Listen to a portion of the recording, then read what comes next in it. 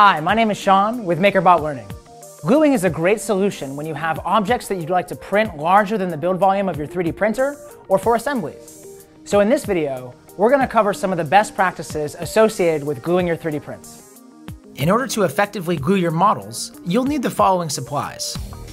Super glue, activator, two-part epoxy, rubber bands, filler, sandpaper, paper towels, a scraping tool, a gluing tray, a respiratory mask, gloves, and eye protection. First, inspect the points where your pieces are to be bonded. Clear them of any support material or rough edges to facilitate a firm bond. Next, glue your model's sub-assemblies. Using two-part epoxy here will allow you to reposition or realign pieces while the glue is still curing as epoxy cures slower.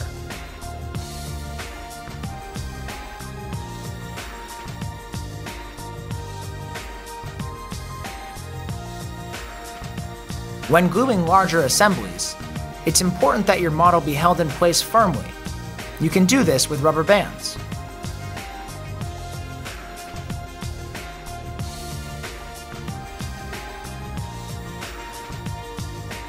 Spot join parts by placing small dots of glue evenly across each seam. This will help your model stay in place. Superglue typically takes about 30 seconds to a minute to cure completely. To speed up the process, use a spray activator. Continue to spread glue across the rest of the seam. Any excess glue should be wiped off immediately with a paper towel.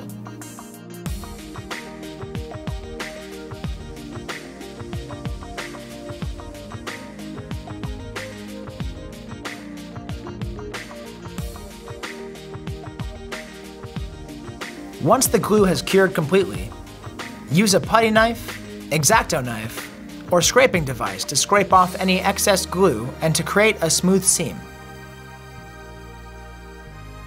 Once you're happy with the surfaces, joints, and small details of your model, you can begin to prepare the surface further if you plan to paint.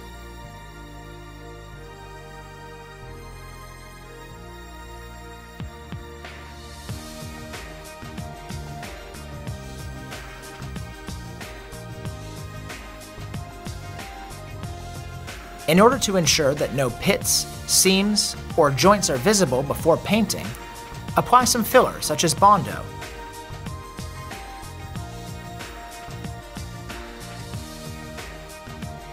Apply filler in layers where needed and set to cure.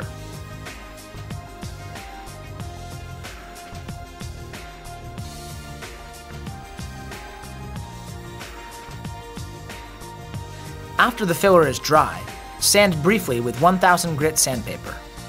If you've applied thick layers, you may need to use 400 grit sandpaper to remove more material.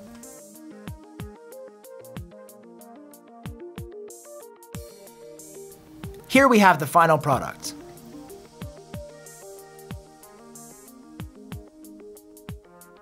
You just learned how to take your prints beyond the build plate. If you're looking for more applications, check us out at makerbot.com or on our YouTube channel. And remember, if you try this at home, share it with us on Thingiverse or social media. We can't wait to see what you make.